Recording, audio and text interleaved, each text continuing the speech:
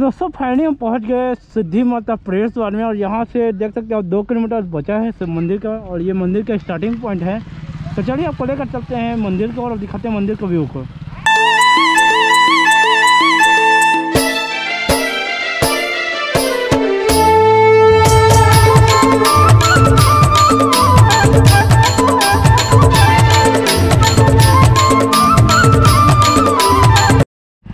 मैं हूँ बेमेतरा से पंद्रह से सत्रह किलोमीटर की दूरी में संडी नामक गाँव में जहाँ पर है माँ सिद्धि मंदिर जो कि यहाँ आसपास के लोगों का बहुत ही ज़्यादा आस्था का, का केंद्र बना हुआ है। अभी माता सिद्धि में जो भी मन्नतें मांगी जाती हैं सच्चे दिल से हर एक की मुरादें पूरी होती है। तो चलिए मंदिर के अंदर चलते हैं और मंदिर के आपको दर्शन कराते हैं। चलिए आगे में मिलते हैं।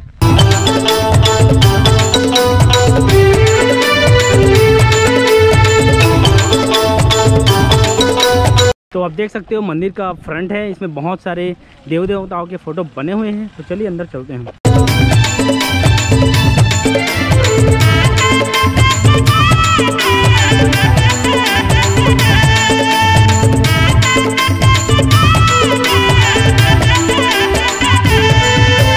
तकरीबन आपको 200 से 300 मीटर अंदर जाना होता है मंदिर के, और मंदिर बहुत ही अच्छा बना हुआ है। यहाँ पर आसपास आपको जो भी है खाने वगैरह का सामान और नारियल वगैरह मिल सकते हैं। और आप देख सकते हो, सीधा में मंदिर का माता का मंदिर है।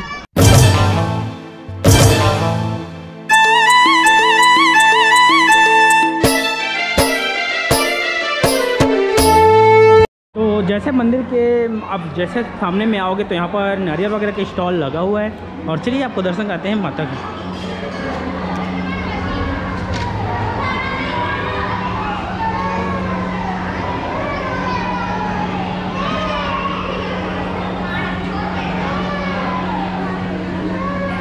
तो ये मंदिर का एरिया भी है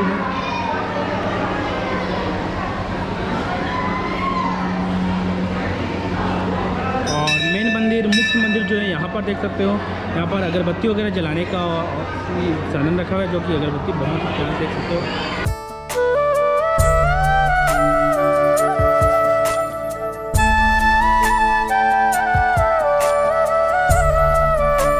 तो मैं हूँ मुख्य माता के मंदिर के सामने और यहाँ से माता का दरबार है। और आप देख सकते हो। तो चलिए अंदर से आपको दिखाते हैं। चरण पखारी ले त्यों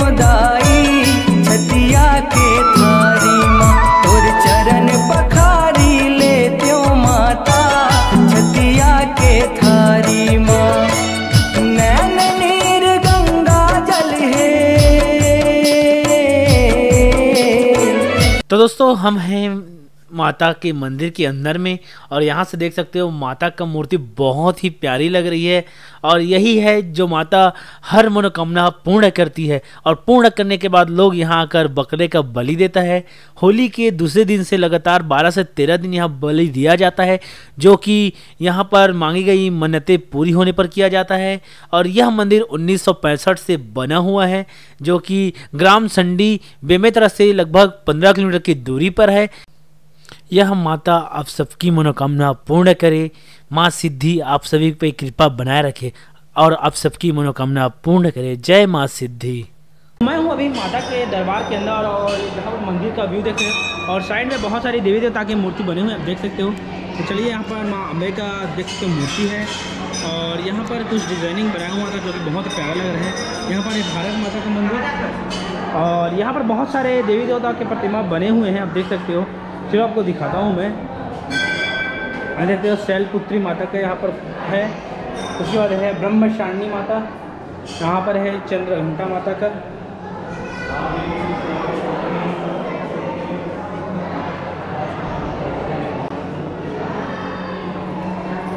यहाँ पर है स्कंद माता।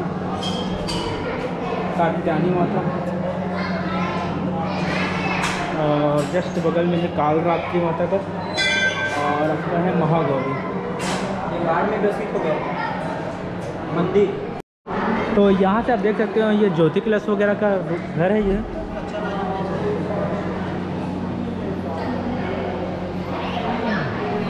तो दोस्तों यहाँ पर देख सकते हो यहाँ पर आप ज्योति जला सकते हो जो कि नवरात्रि में जला जाता है। इसमें आजीवन ज्योति शुल्क आप लिखा हुआ है देख सकते हो दस हज़ार एक सौ रुपये और एक में है पंद्रह हज़ार एक सौ रुपये यहाँ पर शंकर जी का शिवलिंग है। और जस्ट सामने में जाओगे तो शंकर जी का और बड़ा है। यहाँ पर दुर्गा माता का मंदिर देख सकते हो, हनुमान जी, शंकर जी, बहुत सारे देवी देवताओं के और भी मूर्तियाँ बनाए हुए हैं, जो कि बहुत ही प्यारा है। तो चलिए और भी दिखाते हैं आपको।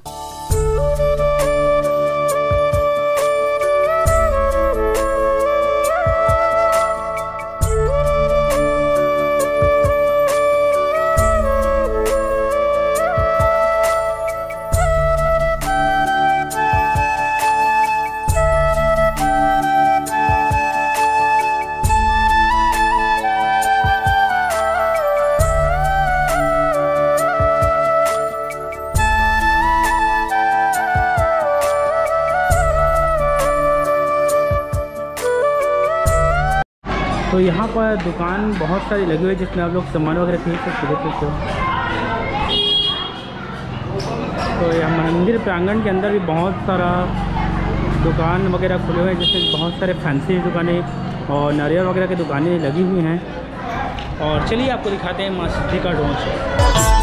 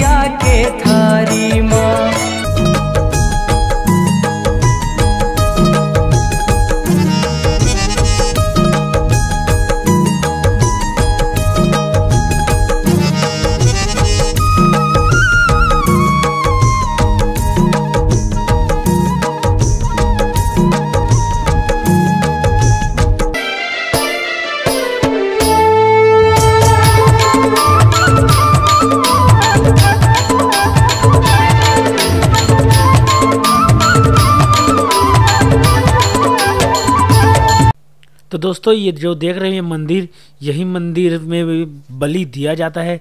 जो भी मन्नतें पूरी होती है, यहाँ पर एक बबूल का पेड़ है, उसके नीचे आकर बकरे का बलि दिया जाता है। यही वो जगह है जहाँ पर दो से तीन हज़ार बकरे हर साल बलि दिए जाते हैं। जिसकी मन्नतें पूरी होती है, यहीं पर देते हैं और यहाँ माँ काली का भी मंदिर है और जस्ट पीछे में बलि देने का जगह है, जो बबूल पेड़ के नीचे दिया जाता है। दोस्तों, घूम लिए हम माँ सिद्धि माता मंदिर और आपको एरियल दिखा दिए हैं। चलिए मिलते हैं नेक्स्ट वीडियो में तब तक की बाय जय जवाहर जय छत्रपति